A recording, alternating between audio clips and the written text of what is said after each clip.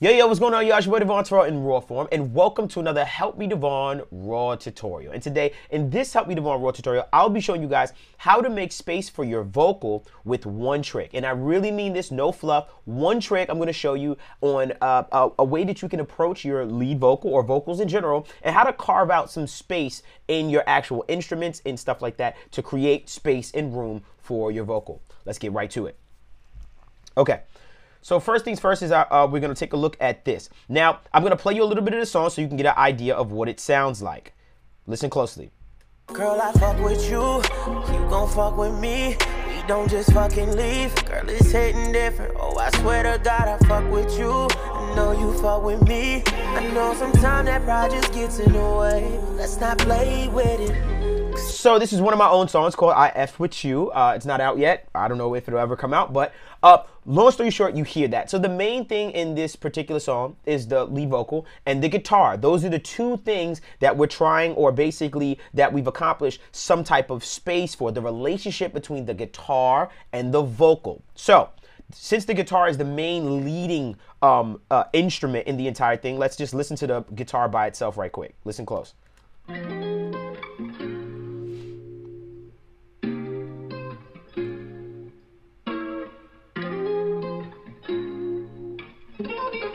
Cool. So you hear the guitar. It's a big sound. It's not something that's subtle in, in the back. It's a bigger sound. So what I'm going to do is this. I'm going to play it for you without my effect as far as the one trick that I used, and then I'll play it for you with the trick. I'll bypass it back and forth. Listen very closely to the relationship between the vocal and the guitar. I'm going to bypass my effect back and forth so you can get an idea of what just happened as far as in the actual music. Okay, it's very subtle, but if you listen closely, you will hear this without first. Fuck with you, you gon' fuck with me. We don't just fucking leave. Girl, it's hitting different. Oh, I swear to God, I fuck with you. I know you fuck with me. I know sometimes that pride just gets in the way. But let's not play with it.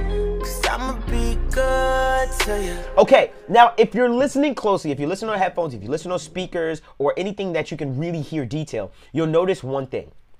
When this song is when the effect excuse me when the when the trick that i'm telling you about is bypassed the vocal sounds a little bit more cloudy. It feels a little bit more covered. It feels a little bit more like it's uh uh, fighting to to really stand out. There is some frequency masking going on. There are some competition issues that's going on because that guitar and that vocal live in a very similar vocal range. Now, there's a ton of different techniques that you can use to fix this, to combat that, to make it feel better. You notice that when I had it engaged, the trick, you felt like the vocal just felt heavier. The frequencies uh, uh, in the upper mids started to feel a little stronger. It just felt like, oh, guitar, you're here, and the vocals here. How do we create this separation with one trick? How do we create this space and how do we do this so that we can pretty much go about approaching all of our mixes? Now, before we go any further, I'll ask you guys to comment, like, subscribe. Make sure you visit helpmedevvon.info at any time uh, to get some of our templates, vocal chains, presets, like this one that I use in the song. I use the Devvon Terrell signature template, which is in the description below. I'll make sure it's there. Visit that at any time.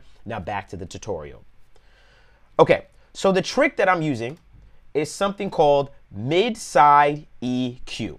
Now, I'm sure, or I don't want to assume that everyone has heard of mid-side EQ or what that means for uh, any reason. So let me just explain it to you like this.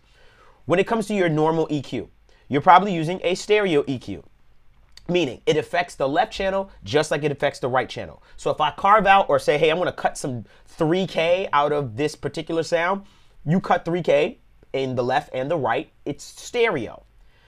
When it comes to mid side, you are differentiating the middle and the side information. So it's a stereo trick. Basically, you have middle information, which is like vocals, kicks, snares, that type of stuff. And then you have side information. You do have a little bit of vocal over there. You do have synths and pads and all that other stuff is more of the sides. Now, what you're trying to do is you're trying to think about it like this your vocal, main focal thing in the middle of your mix. And you say guitar also in the middle of my mix. But at the same time, there is a lot of side information. So what do you what can you do to combat this and what does this all mean? Check this out. What I like to do is when I find two frequencies or two sounds really competing for each other, I like to use a mid-side EQ.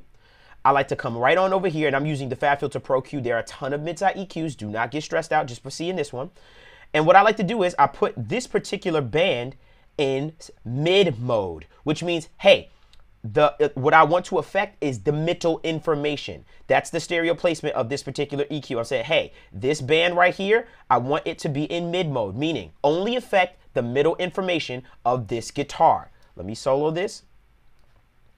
And now that it's only affecting the middle information of the guitar, I chose to say, hey, I want you to, in this vocal range, which is the 2000 kilohertz range, I want, excuse me, 2000 hertz range, what I'm really big on and why I'm picking that range is because that is the main frequency range of our vocals, of our speaking. That's the most prevalent frequencies in our voice as far as the loudest, as far as where you really hear the bane and the bulk of the vocals. So I say to myself, hey, guitar, I'm gonna cut a little bit of you out in the middle information just so I can have more space for that vocal so that you guys can live. I'm not messing with my side information. Two kilohertz is still going to exist in my side information. But when it comes to the vocal, I really need that middle to really have a precedent um, when it comes to the vocal in that two kilohertz range. So do you see my ideology? You see why I do it like this?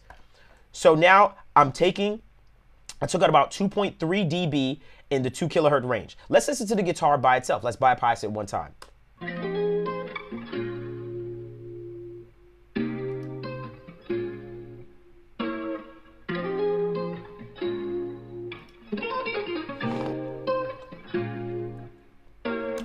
if you listen to that closely, you notice that some of that upfrontness of the guitar got pulled back, but it still felt nice, it still felt light, and it still felt fun and interesting. What you have to realize is this is why it's important not to mix in solo with your instruments. When you say to yourself, well, it sounds good solo, but that's not what you're doing. That's not what people are listening to. People are not listening to the guitar in solo, they listen to it in its totality. So, what you do is you make room and cut things for other things. And you try to make spaces and carve out different places for vocals, for pianos. Hey, you'll live here, you'll live here. And it gives you a better spectrum of the music and it helps with just making uh, things more clear. It really helps with clarity. So that's what I basically did with my guitar. I went on over to here, this right here, and I pulled some of that back. Now what I'll do is I'll solo my lead vocal as well as the guitar so you can just hear that relationship a little bit and I'll bypass the mid-side EQ back and forth to give you an idea what it sounds like. So without first and I'll bypass it back and forth. Listen closely. Fuck with you, you gon' fuck with me. We don't just fucking leave. Girl, it's hitting different. Oh, I swear to God, I fuck with you. I know you fuck with me. I know sometimes that pride just gets in the way. But let's not play with it. Cause I'ma be good to you. Talking shit, show my whole hood to you. Know these other niggas. So when you listen to that, you can hear it. You can feel this this um, relationship just gets, just gets so much better when we pull back on the mid information at the two kilohertz range of the guitar, thus giving us more room for the vocal to cut through and breathe in our mix.